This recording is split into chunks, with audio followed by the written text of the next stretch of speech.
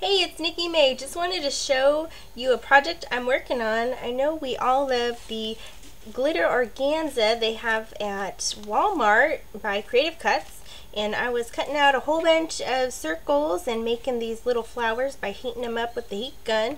And I was cutting off the salvage and realized, oh, well, I'm going to try to heat that up, and this is what it looks like.